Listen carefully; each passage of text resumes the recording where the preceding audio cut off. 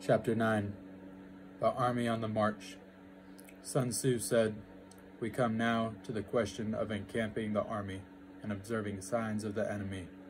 Pass quickly over mountains and keep in the neighborhood of the valleys. Camp in high places facing the sun.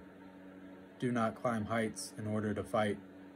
So much for mountain warfare. After crossing a river, you should get far away from it. When invading force crosses a river in its onward march, do not advance to meet it in midstream. It will be best to let half the army get across and then deliver your attack. If you are anxious to fight, you should not go to meet the invader near a river which he has to cross. Moor your craft higher up than the enemy and facing the sun. Do not move upstream to meet the enemy. So much for river warfare. In crossing salt marshes, your sole concern should be to get over them quickly, without any delay. If forced to fight in a salt marsh, you should have water and grass near you, and get your back to a clump of trees. So much for operations in salt marshes. In dry, level country, take up an easily accessible position with rising ground to your right and on your rear so that the danger may be in front and safety lie behind. So much for campaigning in flat country. These are the four useful branches of military knowledge which enabled the Yellow Emperor to vanquish four several sovereigns. All armies prefer high ground to low and sunny places to dark.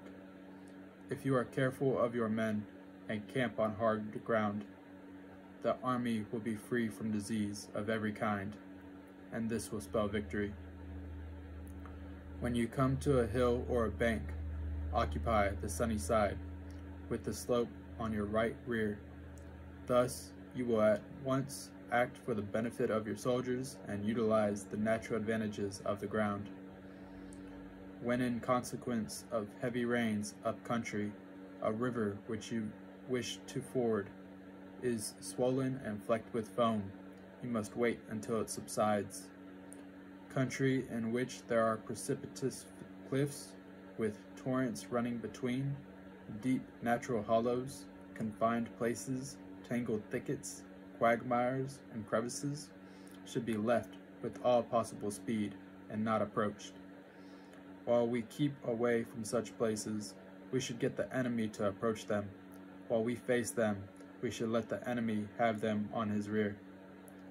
If in the neighborhood of your camp there should be any hilly country, ponds surrounded by aquatic grass, hollow basins filled with reeds, or woods with thick undergrowth, they must be carefully rooted out and searched, for these are places where men in ambush or insidious spies are likely to be lurking. When the enemy is close at hand and remains quiet, he is relying on the natural strength of his position. When he keeps aloof and tries to provoke a battle, he is anxious for the other side to advance. If his place of encampment is easy of access, he is tendering a bait. Movement amongst the trees of the forest shows that the enemy is advancing. The appearance of a number of screens in the midst of thick grass means that the enemy wants to make us suspicious. The rising of birds in their flight is the sign of an ambuscade. Startled beasts indicate that a sudden attack is coming. When there is dust rising in a high column, it is the sign of chariots advancing. When the dust is low, but spread over a wide area, it betokens the approach of infantry. When it branches out in different directions, it shows that parties have been sent to collect firewood. A few clouds of dust moving to and fro signify that the army is encamping. Humble words and increased preparations are signs that the enemy is about to advance. Violent language and the driving for forward as if to the attack are signs that he will retreat. When the light chariots come out first and take up a position on the wings, it is the sign that the enemy is forming for battle. Peace proposals, unaccompanied by a sworn covenant, indicate a plot. When there is much running about and the soldiers fall into rank, it means that the critical moment has come. When some are seen advancing and some retreating, it is a lure. When the soldiers stand leaning on their spears, they are faint from want of food. If those who are sent to draw water begin by drinking themselves, the army is suffering from thirst. If the enemy sees an advantage to be gained and makes no effort to secure it, the soldiers are exhausted. If birds gather on any spot, it is unoccupied. Clamor by night betokens nervousness. If there is disturbance in the camp, the general authority is weak. If the banners and flags are shifted about, sedition is afoot. If the officers are angry, it means that the men are weary. When an army feeds its horses with grains and kills its cattle for food, and when the men do not hang their cooking pots over the campfires, showing that they will not retu- return to the tent, you may know that they are determined to fight to the death. The sight of men whispering together in small knots or speaking in subdued tones points to disaffection amongst the rank and file. Too frequent rewards signifies the enemy is at the end of his resources. Too many punishments betray a condition of dire distress.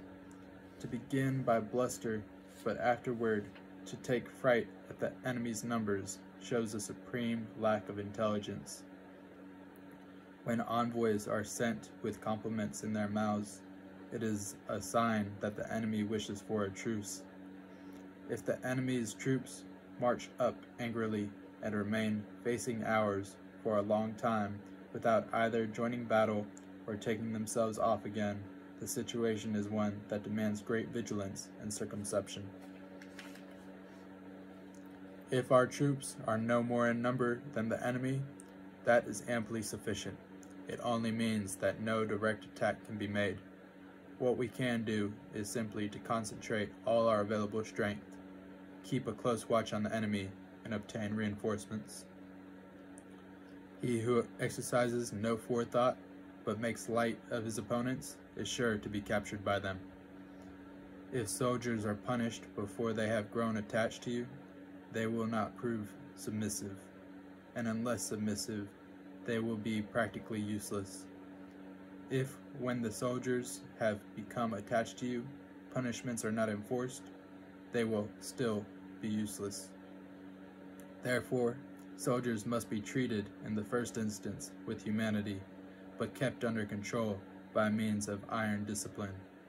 This is a certain road to victory. If in training soldiers' commands are habitually enforced, the army will be well disciplined. If not, its discipline will be bad. If a general shows confidence in his men, but always insists on his orders being obeyed, the gain will be mutual.